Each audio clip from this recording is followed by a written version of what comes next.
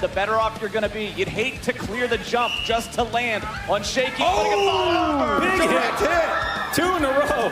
Oh, Lat, Lat and Andy are both down. Oh, oh! Couple more nice jumps, couple more good clears.